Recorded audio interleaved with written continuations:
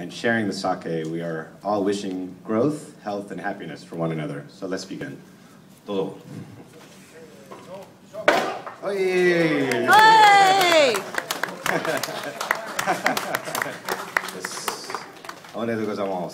And now we will serve the sake using the masu, which is a ceremonial wooden cup uh, that was made to commemorate today's celebration and it actually improves the flavor of the sake.